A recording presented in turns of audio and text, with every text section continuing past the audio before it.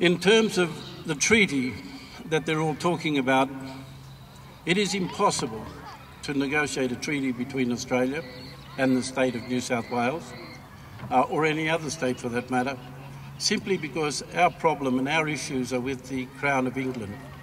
You see, Australia, for all of you high school students and people, Australia still rules and governs in right of the English Crown.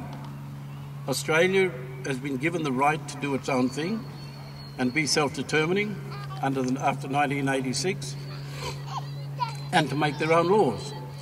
But you see, those laws are now frustrated. The making of those laws are frustrated after the Native Title Act and after Mabo. Because you see, now Australian common law and the English common law recognises Aboriginal law and culture. That means that we have in this country two laws. That's why we fly two flags. Because there are two flags that fly, and those flags recognise the common law rights of Aboriginal people under our law and custom. The other thing that's important to understand as well is that the legislature, the parliaments of Australia, do not have a legal right to change any Aboriginal law, none whatsoever. The parliaments of Australia can change the laws in relation to Western society and the laws and how you govern, but they cannot in any way, shape or form pass any laws that takes away Aboriginal rights under our law and custom because those rights belong to Aboriginal people and Aboriginal people only. And we make those laws according to our customs and laws. And so when we talk about uh, voice to Parliament, truth and a treaty, we really truly need to understand what it is that we're, we're being asked to do. It's a big job, it's a big task, it's not a simple task, and unfortunately we have to engage um, politicians who are, who are funded and paid for by corporates and other interests around this country. You elect them, but the campaigns are run by um, others uh, that you don't see. And for you as high school students, you are the guys who within the next five years will have responsibility for voting people into Parliament and taking on the responsibilities that we have now.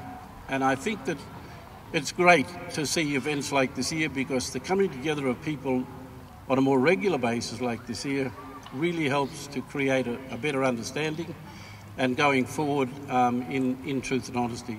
And I think that's one of the great benefits of, of things like NAIDOC Week and you know having the participation of the mayor and um, others around here um, to help celebrate uh, these events certainly takes us forward uh, and progressively. Quite frankly, Aboriginal people's rights and the things that we're doing around this country right now, a lot of people are in for a rude shock about the power that we have. And you see, there is this thing here that flag, the one in the middle, and that flag. In the United States right now, there are business people who really don't want to invest money in this country. And there's one reason why they don't want to invest money in this country for development and business is because they don't know whose law is the number one law in this country. Because those flags fly on parliament houses, they fly in front of courts, and they fly in front of schools. And what does those flags mean? Those flags mean power. That's what they represent, power. And so it's illegal. If you don't recognise the authority and the power, sovereignty, of other people, it's illegal to fly those two flags. You can go to jail. Anywhere in the world, it's called sedition. If you put up another flag next to your nation's flag, you can go to jail. And for treason and sedition, that's the only crime around the world where you can get shot for it when you commit, a, when you commit that offence. So, what you have here when you fly those two flags is you must, non-Aboriginal Australia, has to accept the fact that Aboriginal people in this land have a law that comes from our dreaming, comes from our culture, our customs. And, in, and the highest court in this country said that that is a construct not of England and the common law, but it comes from our own Aboriginal culture, which is the law of this land. And so we got to, so the problem that you've got now, for you as young ones, need to get to ask some questions with your teachers about what does that really mean? And if that, so if it means that we got two laws sitting in this country, then whose law is superior? Wait a minute, a big problem. The highest court in this country yeah, said that when, there's, when you make a decision about those two laws, whose law is dominant over the other, there is no court, not one court in this country, who is permitted to make that decision.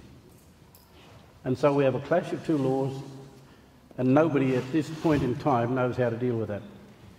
And I keep telling my people, when they're pushing the treaty on you, yeah, they're cheating you. They're trying to cheat you because they want you to sign up and give all your power away through a treaty.